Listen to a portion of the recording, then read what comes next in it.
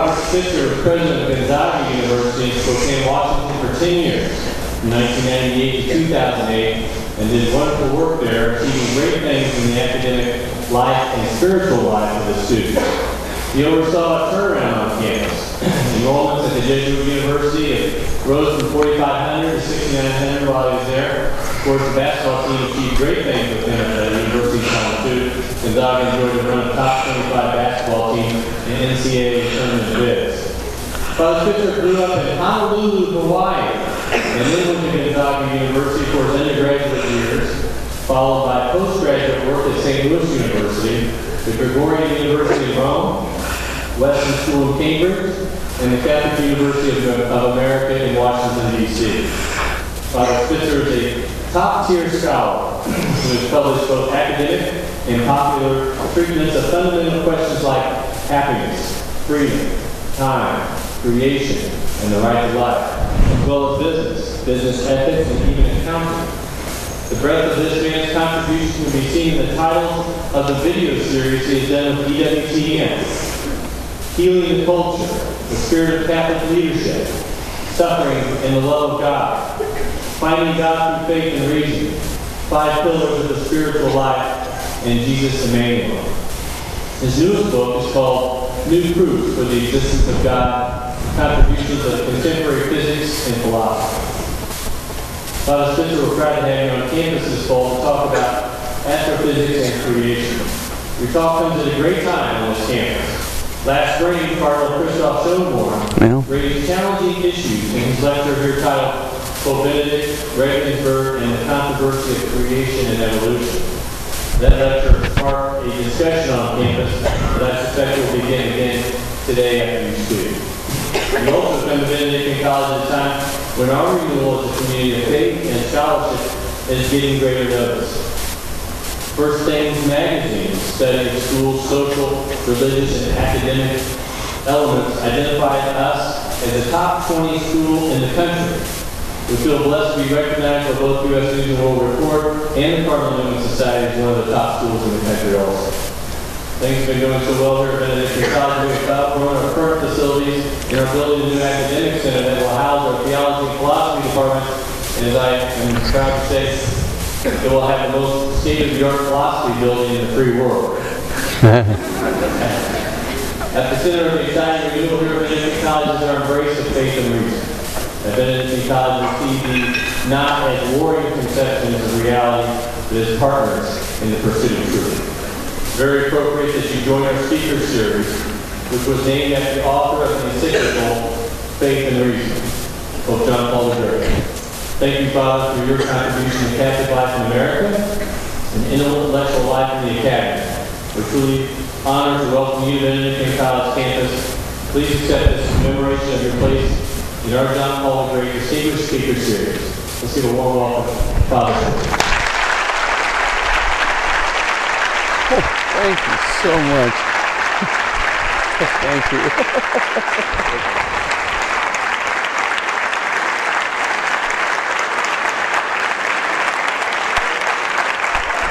Thank you. Oh, no, it's my pleasure.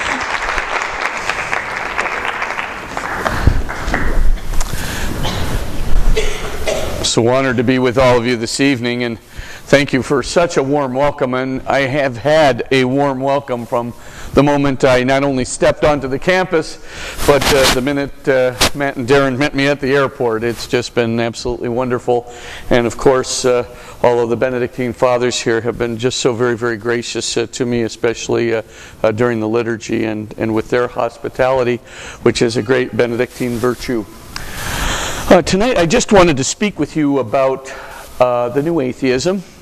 Uh, I think uh, many of you are probably familiar with Stephen Hawking's work, uh, The Grand Design, and you might be wondering uh, what's all this about? Um, um, you might be wondering uh, why is it that uh, Richard Dawkins and Christopher Hitchens have uh, such a, a large sway in contemporary media? Um, do they really hold the truth about uh, science and faith, or are there other opinions? Um, for those of you who watched uh, the Larry King uh, show the other day, I, I certainly voiced my disagreement with uh, uh Stephen Hawking and very much uh, voiced my disagreement too with Richard Dawkins and uh, Leonard Mlodinow. Uh, but it is not just me. I'm just completing a documentary right now for cable television um, that features Nobel Prize winning physicists and Templeton uh, Award uh, physicists who are talking about the evidence for God and creation. And we're going to talk a little bit about that evidence uh, this evening. Um, in fact, the evidence is so prolific, really, uh, that uh, I've written this new book that um, was just mentioned. and uh, the new book uh, tries to give a summary of some of the uh, important evidence that's come to light about science and faith in the last 20 years, particularly in the last 20 years. I wanted to also address what Stephen Hawking is saying in the grand design because obviously he takes a counter position uh, to the physicists who've worked with me on the documentary and to many other physicists who I will be mentioning tonight. And we want to understand, well, what is it uh, there that, uh, that is the source of the debate? And then if you want, uh, in the question and answer session, we can take up all kinds of things uh, regarding, uh, you know, the biblical account of creation, if you will, versus the scientific one. Uh, indeed, if there is a contradiction, and I don't believe that, you know, the Bible was doing science per se, and we can talk about that. Um, I could, would also love to talk to you about evolution or whatever other kinds kinds of questions that might be on your mind that are not covered in this talk. What's the first uh, critical propedeutic point? Uh, really, anything can change in science. You can't prove God scientifically in the same way you can prove God philosophically. Because science is based on induction, and because of that, we can never be sure that we have a complete explanation of the universe from within the context of physics itself. There could be a new discovery which could change our whole model. After all, that's been done three or four times at least in the course of intellectual history. So, for sure, you cannot prove something absolutely with science. But science can indicate the, not only uh, the existence of, of a creator outside of space-time asymmetry, uh, science can also come up with rigorous theories to that effect. And we do want to give some assent to that evidence and to those rigorous theories, uh, so long as the evidence keeps piling up from many different directions and keeps amalgamating, as it were, all leading to the same set of numbers, all leading to the same set of calculations, all of a sudden that theory becomes rigorous. The evidence becomes more and more rigorous, and we can, in a sense, give some assent to that evidence um, with the condition, with the caveat, that things could change. There, as we will see in a moment, there are other interpretations that can be given to the evidence. We'll talk about the multiverse theory um, and, and, whether or not it gives us a, a good explanation of anthropic coincidences.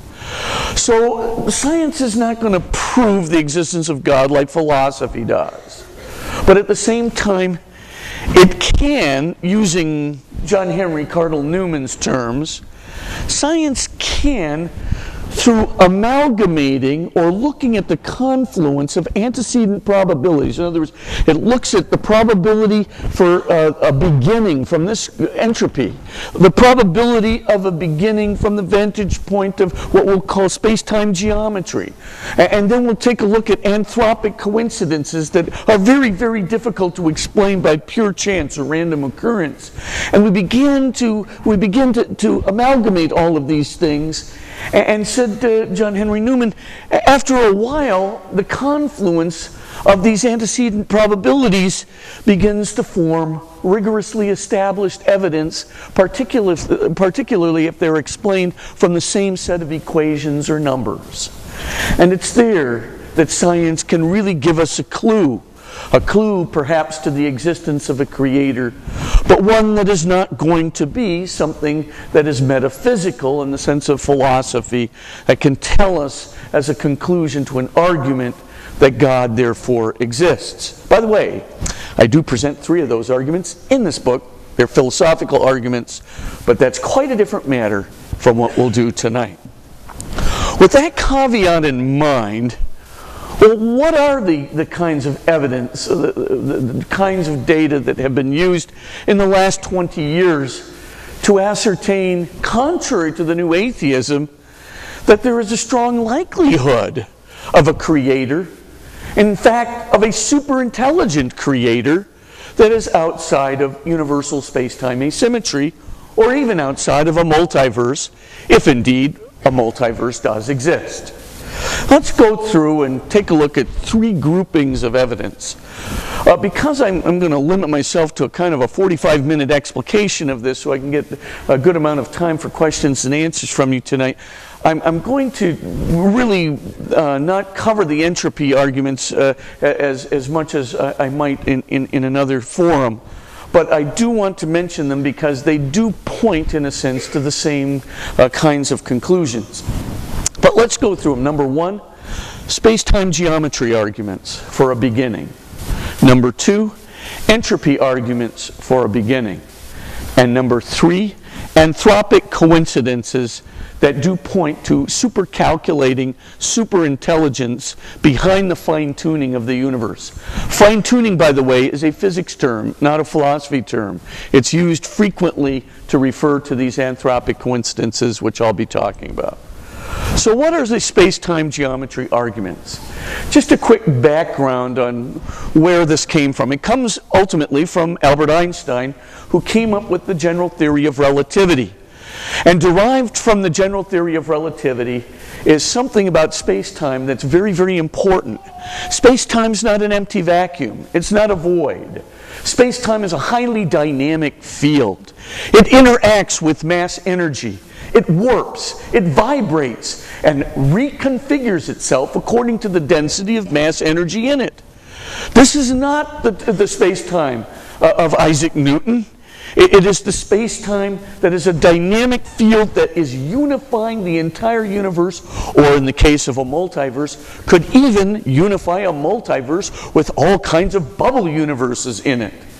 But the point is, space time is dynamic, it has properties, and therefore we can make predictions from them. Some of the predictions that came to light in 1980 by none other than Stephen Hawking himself, along with another physicist, Roger Penrose, was the first singularity theorems.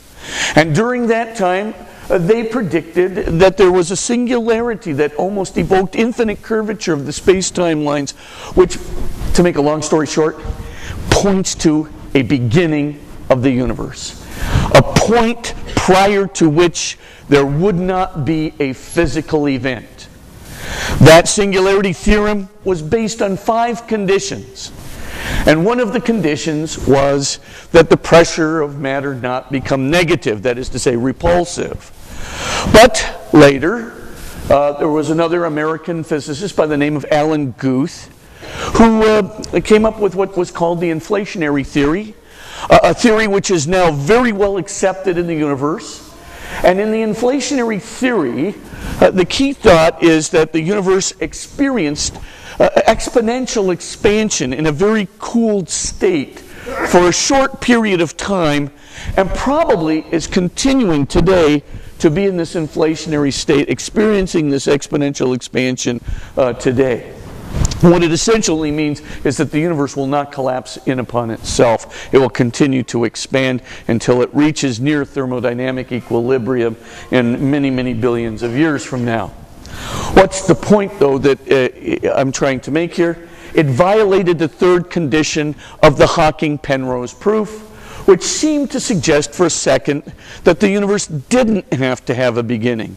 It didn't have to have this singularity, or what's called an initial singularity at its uh, point, the point at which it came into existence. However, this came to a speedy end when in 1993, two other physicists by the name of Arvind Borde, an, an Indian physicist, and another physicist by the name of Alexander Vilenkin, born in Russia, but uh, came to the United States and, of course, has been at Tufts University, uh, running an important institute at Tufts for a long time, came together and collaborated on a new theory. And basically, they came up with another proof a proof of a singularity, a proof of the beginning of the universe, which included the inflationary hypothesis. And for a while there, it seemed like that 1993 proof, which was based on five conditions, that proof itself uh, seemed to hold sway for a long, long time. And in fact, it still holds sway today. There's one loophole that's possible, which is called the weak energy condition loophole, but that loophole really does not apply to this universe or any multiverse which this universe could be attached to. The important thing to notice about the 1993 proof of Borde and Vilenkin is you need a beginning not only of this universe, but you need a beginning of any multiverse in which this universe could be attached and that, the, that um, the, the weak energy condition loophole really doesn't apply to this universe. In fact, Alan Guth himself, the father of inflationary theory, said, I do not consider this, this loophole, this exception, to be important. It's just not applicable. In 1999, Alan Guth went further this father of inflationary theory, who is now at MIT and holds a very prestigious chair there, also did a very comprehensive study of every model, inflationary model, that could have generated this universe or a universe like it or a multiverse in which this universe could be embedded. And he made the astounding discovery that try as physicists might, this is a direct quote, try as physicists might, they have not been able to identify a single model that does not have to have a beginning, a beginning of the universe or multiverse. That's very interesting. Then in 2003, all three of them came together and they developed another proof. So this is a third one. And now, in this particular proof, called the, not surprisingly, BVG theorem, the Borde, Vilenkin, and Guth theorem, which was named after all three of them coming together in collaboration, they finally discovered that basically the exponential expansion of our universe or the exponential expansion of a multiverse. Remember, every multiverse must be inflationary, if you get the point. Now, multiverses are very speculative things. We don't know if any of them exist. We have no way of gaining access uh, to or evidence for a multiverse. But we can tell you one thing about a multiverse. In order to have a collapse of a false vacuum that would lead to bubble universes, you have to have an inflationary condition. So we know that we're dealing with an inflationary condition. What Borde-Vilenkin, and Guth discovered was this. Any universe or multiverse with only one condition now in this proof, this is the sole condition, with an average Hubble expansion, that means an average rate of expansion greater than zero. It, it doesn't matter how much greater than zero. Any rate of, of, of, of expansion greater than zero. Sole condition for the proof has to have a beginning. And the reason for this is that the exponential expansion of space in the inflationary condition causes relative velocities in the universe, the relative velocities of everything in the universe, to continue to decrease over the course of time. It's a just it flows right out of Hubble's law. And therefore, if you go backward in time, then every relative velocity in the universe will have to get arbitrarily close to the speed of light, which is the highest velocity attainable in this universe or any multiverse to which this universe could be connected, in which case you have to have a beginning. This is a big problem if you don't want to believe in God. Why do I say that?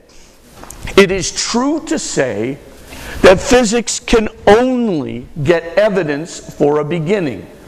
Physics doesn't talk about metaphysical conclusions. They don't talk about creators and creating events. However, metaphysicians like moi can can talk, it can look at the evidence for a beginning and make a logical extrapolation to a creation from a beginning to a creator from a beginning by just using one single metaphysical premise, which we are now going to discuss. But let's just say for a second Let's say the Borde-Vilenkin proof of 1993 is still valid and that every universe and, and, multiverse that's in an inflationary condition has to have a beginning, like our universe or a multiverse, which our universe could be connected. And let's suppose it is correct that 1999 comprehensive study of Alan Guth is correct and that every model that we develop of an inflationary universe has to have a beginning. And let's suppose, uh, for right now, that the 2003 BVG theorem the Borde-Vilenkin and Guth theorem is correct that every single universe or multiverse that has an average Hubble expansion greater than zero will eventually have to have some point, some past time boundary, which ultimately leads to a beginning of the universe or any multiverse. In fact, any oscillating universe in which it could be immersed, in every single condition, it would have to have a beginning. If that were the case, what's the big deal for metaphysics? The big deal is the following four propositions, everyone.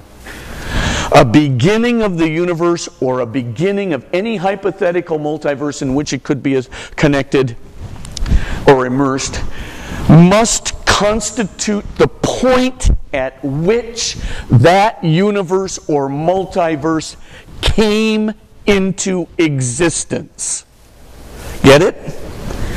Prior to that point, the universe or multiverse was not existing, or to put it in a single word, was nothing. Thank you. That's the good word. It wasn't there.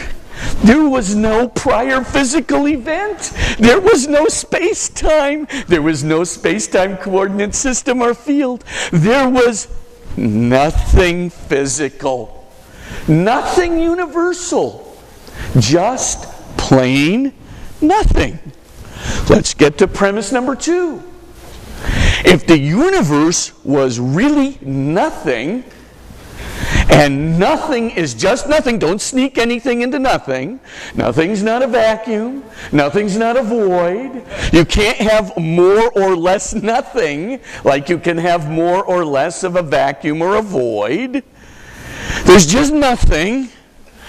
Then let's go to the first of all metaphysical premises from nothing, only nothing comes. It's very simple. Because nothing is nothing, it can only do Nothing. Thank you. Thank you very much. Nothing can't do it. Don't sneak some activity into nothing. Now, Stephen Hawking and I, we really disagree on this metaphysical principle. I don't disagree with Stephen Hawking's physics at all. It's this idea of the universe creating itself out of nothing. This is a very troubling thing. Because I know one thing, metaphysically, from nothing Thank you, Father Parmenides. Only nothing, only nothing comes.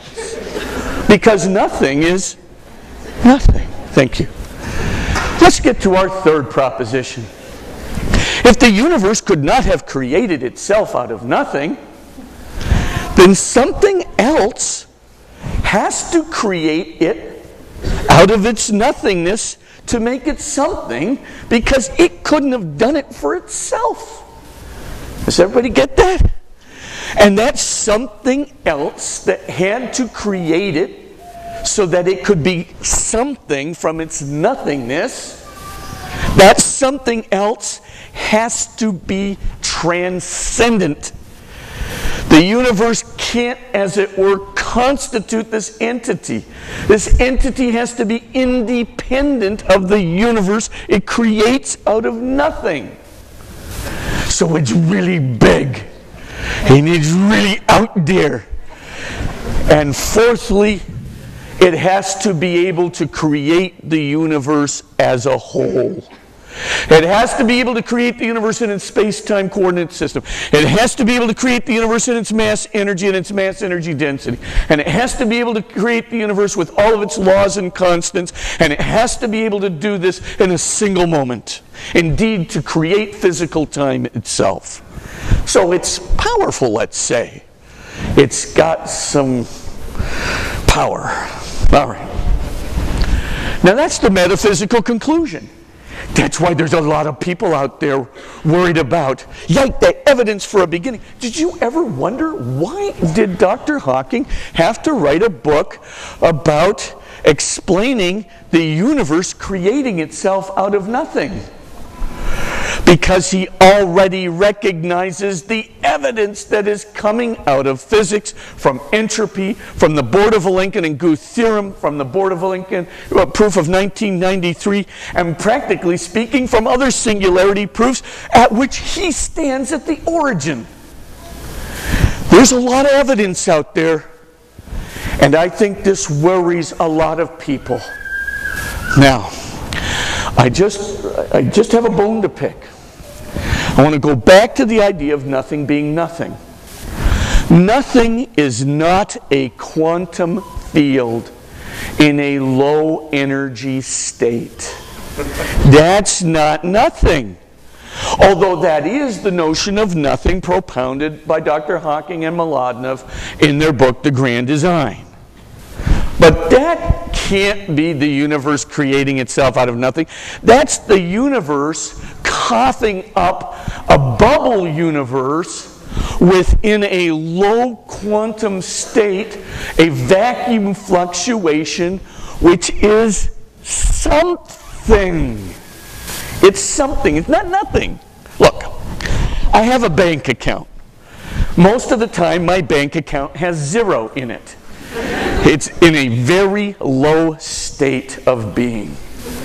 Now,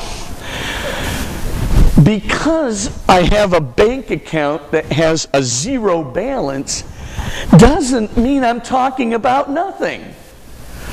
I have an existing bank account, which is in an existing bank. Just like I have an existing state of a quantum field and an existing quantum field which can produce the false vacuum uh, you know, fluctuation that could lead to the creation of a whole universe. But it's not something coming out of nothing. That point was not well made. Just a bone to pick. But there it is. We got a problem. By the way, it's not a physics problem, it's a metaphysics problem. Let's, um, I'm just running a little short on time. Um, I refer you to chapter one of this book for the entropy arguments. You can get them. But just basically, entropy is the natural movement from what we will call an ordered to a disordered state of energy or an order to a disordered system of energy. Ordered systems of energy can do something, disordered systems of energy progressively get run down and they progressively can't do anything. Ultimately, there are three arguments from entropy. One is the ratio between the cosmic background microwave radiation and, and uh, starlight and other higher forms of energy. Another argument is from Tolman's limit. Another argument comes uh, from a guy named Sean Carroll, but the point I'm trying to get to is these entropy arguments are very, very important arguments, and the reason they are is they point to a beginning too. So it's not just space-time geometry arguments like the Borde-Vilenkin and Guth theorem we just talked about. It's also these entropy arguments that are pointing to the same beginning that has the same metaphysical consequence of a creator that can create the universe as a whole.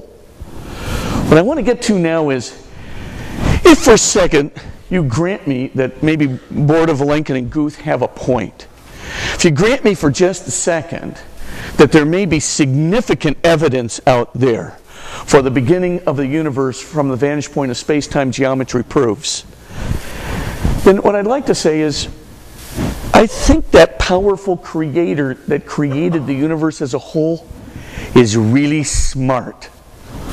And here's why. Because there are conditions and constants of the universe. And some of these conditions are highly, highly, highly improbable.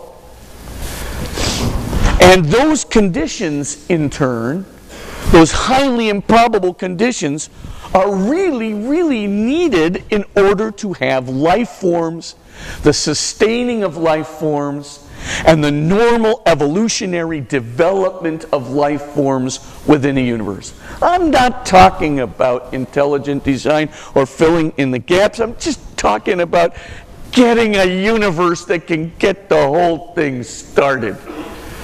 Let's just take a look at it for just a second. Let's go back to this guy, Roger Penrose.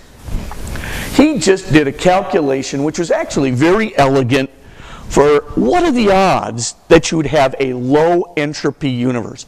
You really want a low entropy universe because a low entropy universe has lots of ordered systems of energy in it that can do all kinds of things like sustain life forms and permit the evolutionary development of life forms, etc.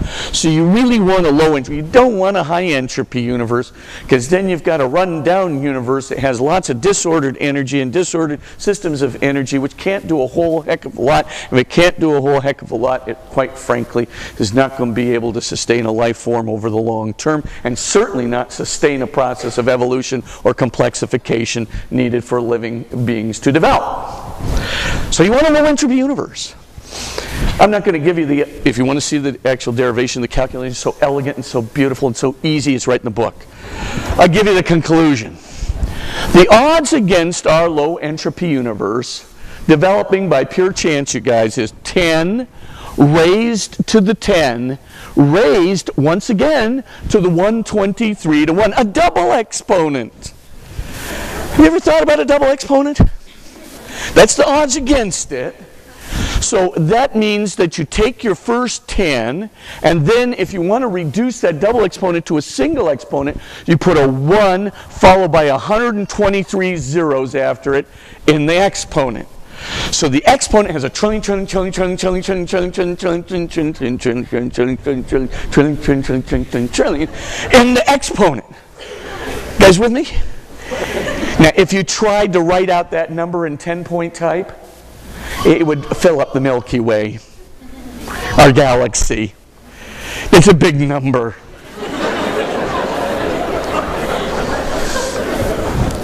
Honestly, the odds of a low entropy universe, which we need for complex life forms to develop, the odds of this happening by pure chance is like telling a monkey sternly, begin your random tapping of the keys and type out the entire corpus of Shakespeare through this random tapping starting now. I'll be back in two weeks. You come back in two weeks, Macbeth, and then Richard III and then Hamlet, perfect. And you begin to suspect, hey, wait a minute, this is highly improbable. Yes, yes, it is. And if you believe that the monkey did this by random tapping of the keys, I do have a brief. No, actually, uh, what I want to say is there is very definitely uh, a faith element involved in that conclusion. It's not reasonable or responsible. We would never scientifically hold that hypothesis. Yet at the same time, that's the odds against our low entropy universe simply occurring at the Big Bang by pure chance. I don't know how it got there. Now we're going to talk about the multiverse in just a second because it'll become very important, but just hold on to that. Can I just give you four other examples real quick like? We have these other things called constants. Constants are just numbers, but they're really important numbers because those constants, they're numbers that remain constant throughout the entire universe, past and future, and at the furthest extent from where we are to right where we are. So, for all intents and purposes, the speed of light is 300,000 kilometers per second or 186,200 miles per second, and, and, and it's the same everywhere.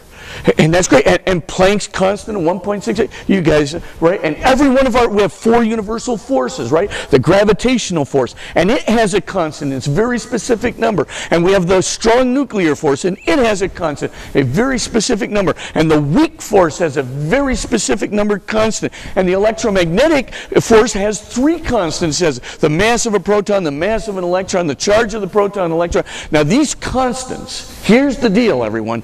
They literally control not only the laws of physics, they are controlling the laws of nature. It's not just the equations of physics, it's the laws of nature out there. These constants are really important.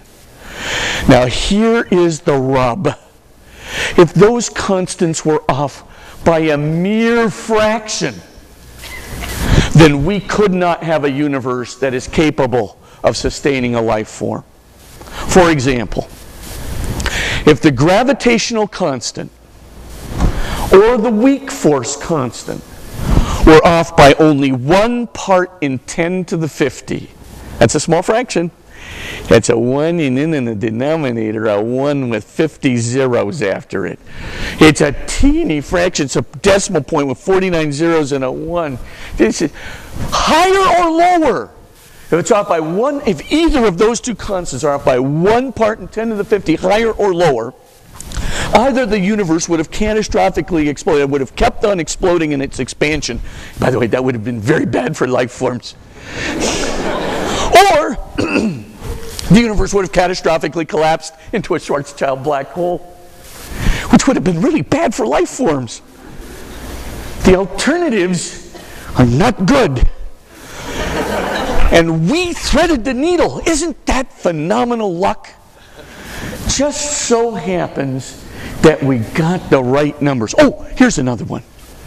If the strong force constant varies 2% higher from its current from its value, the value it has, you would have no hydrogen in the universe.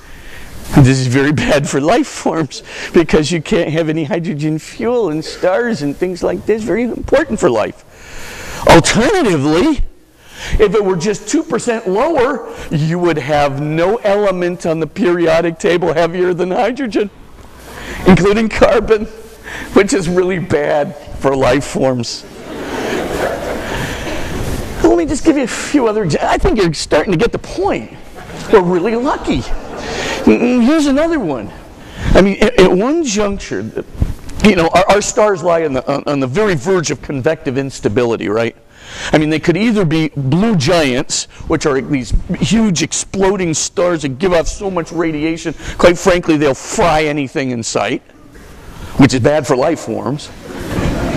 Or they're red dwarfs, they're dying stars that literally have not enough radiation to sustain a development of life.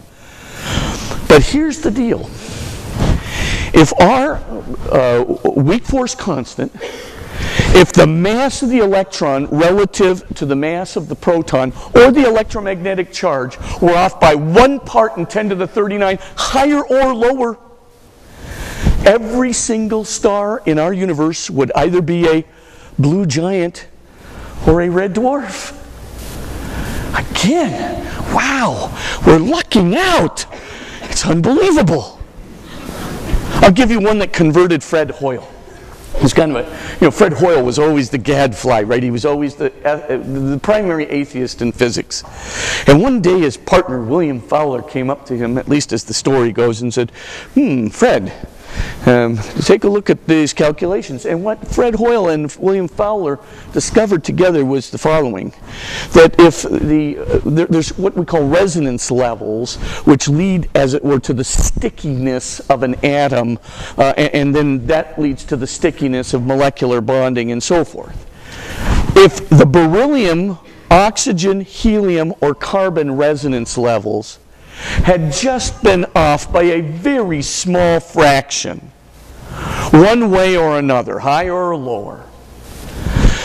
Either carbon wouldn't have the stickiness it requires for bonding, or there wouldn't be an abundance of carbon at all, in which case it would be really bad for life forms.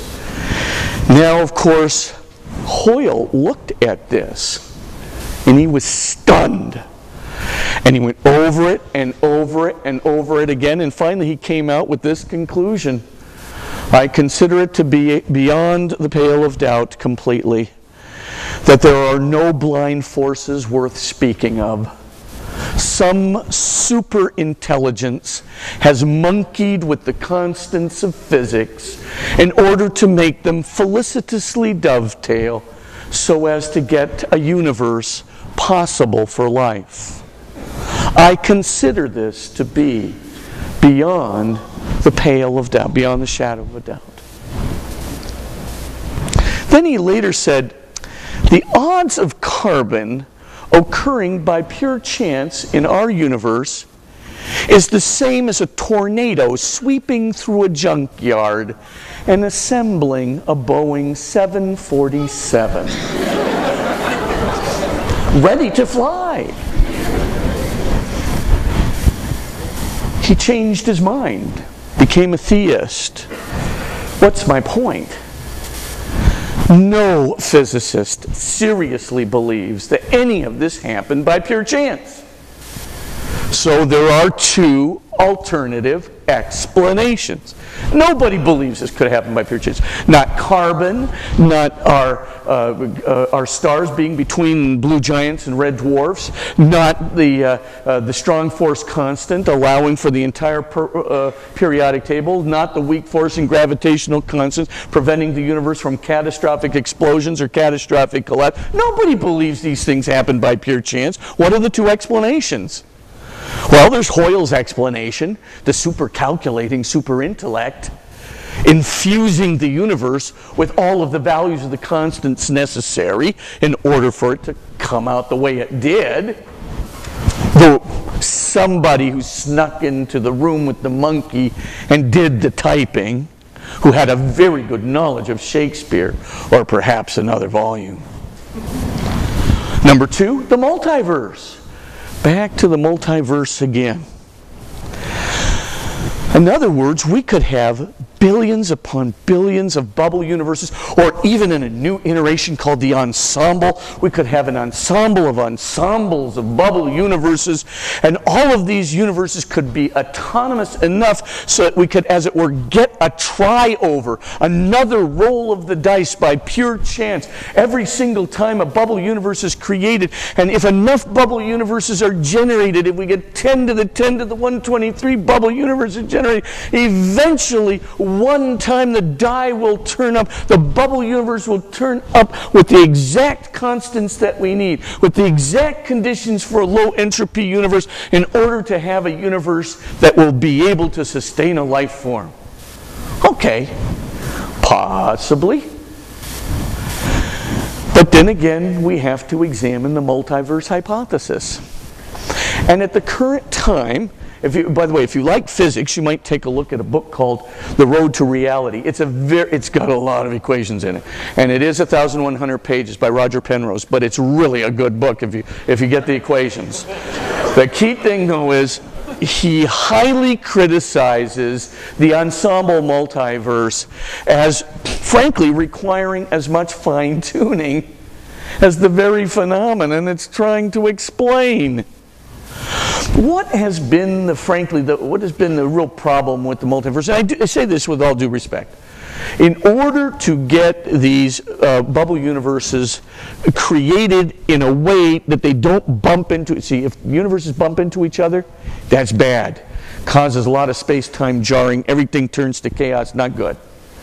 So you have to make sure that the bubbles are not bumping.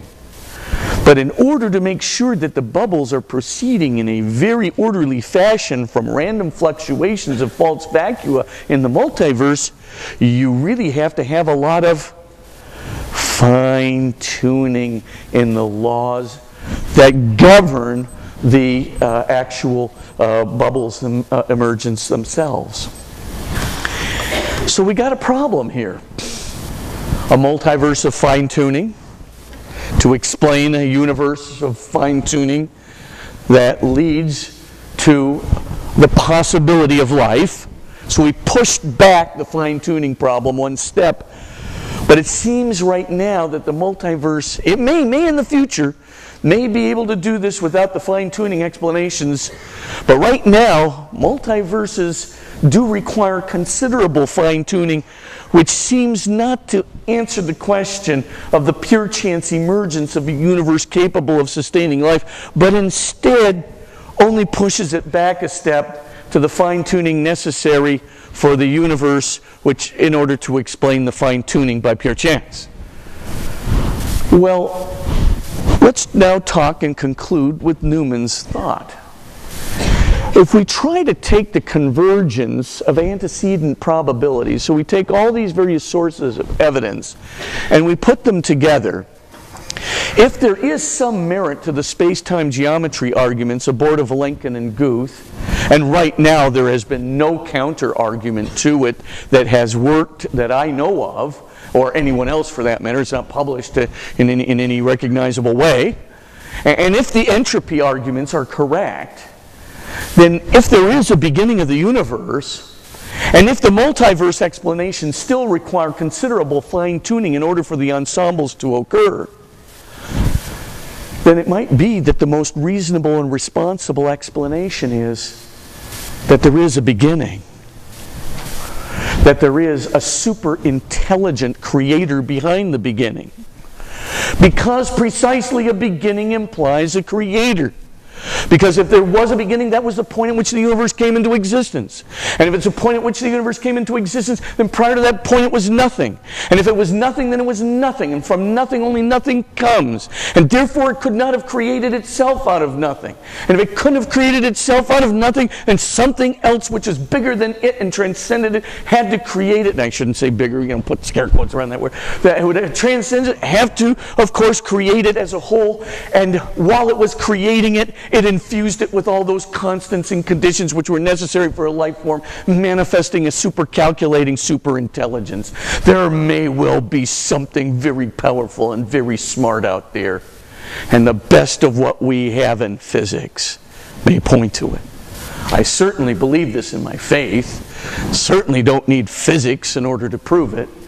But it is interesting to note that something is happening and that the current contention of pop culture atheism today, that science has somehow disproved the need for God in the universe, why, that is a very questionable proposition indeed. For quite the contrary seems to be more reasonable and responsible. That's my view.